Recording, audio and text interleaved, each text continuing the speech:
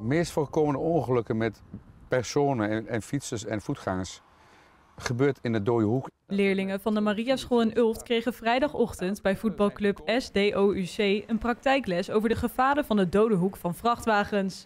De schoolleiding vindt het belangrijk om kinderen veilig op pad te sturen als ze de fiets pakken. Eigenlijk ehm, horen we toch nog wel dat er veel ongelukken gebeuren, verkeersongelukken. eh, onder andere door de dode hoek. We denken dat we op het moment dat we dit laten ervaren, dat ze een stukje bewuster het verkeer ingaan. De scholieren werden om de vrachtwagen heen geplaatst, waarna er een leerling achter het stuur mocht zitten. Die kon zien dat een deel van zijn klasgenoten door de dode hoek niet meer zichtbaar was. De les maakte indruk op de leerlingen. Die man heeft me best wel veel gezegd. Ja, zoals? Wat heb je geleerd? Nou, dat er, als we met elf kinderen komen, dat ze eigenlijk vijf zie je er al niet.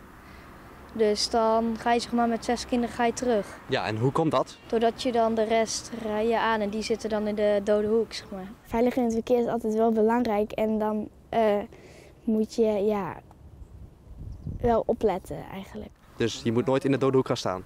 Nee, dat moet je niet doen, want dan word je eigenlijk aangereden. Eerder werd de les gehouden met landbouwvoertuigen. Dit is de eerste keer dat een vrachtwagenchauffeur te gast was.